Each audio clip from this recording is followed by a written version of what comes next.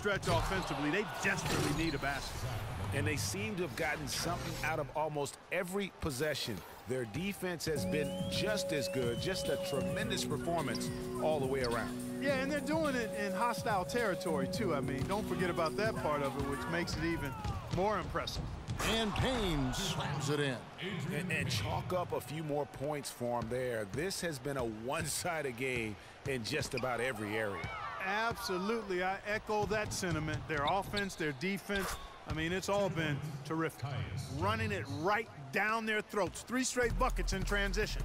Yeah, and they're paying the price right now for the lackluster defense. For me, that's inexcusable. And the foul called on Tyus Jones. That's his first foul, so both teams making some changes here. Here's Batum. That's good. He's five for nine. As you said, Greg, there are a ton of sibling pairs in the NBA. Even more, Clark, if you include the D-League. Well, you start with the Plumlees, the Gasols, the Teagues, Zellers. For twins, you have the Lopez twins, Morris twins, the Zellers, Gasols, Teagues, Steph and Seth Curry.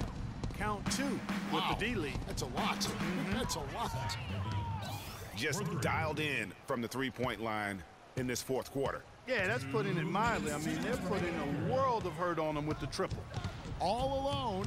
And then Lavine with the jam. Nasty. Absolutely filthy. And the building is stunned, partner. He dug deep into his bag of I tricks tell you there. what, I hope he keeps that one handy. I want to see that one. Oh! oh! That athletic yeah. And a great job of taking advantage of the steal there to get those easy ones in transition. You know, that's exactly how you draw it up, Greg, on the board. I mean, good defensive work, aggressive play in the open court. Those two things are hand in glove when they work together. And, and folks, those are hops you just don't see from that one spot every day. Well, that, that's why he is such an uncommon talent. Yep, uncommon and unparalleled. I mean, he makes things happen out there for sure.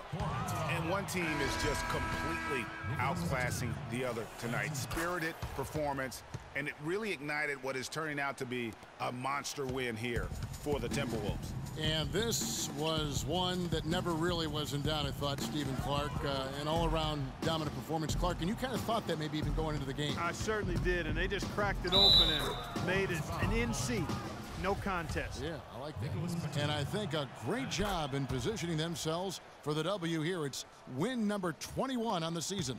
No doubt they came in very motivated to win this one and finish the season series at a game apiece. Absolutely. I mean, they had this date circled on the calendar for redemption. I mean, you never want to lose two games.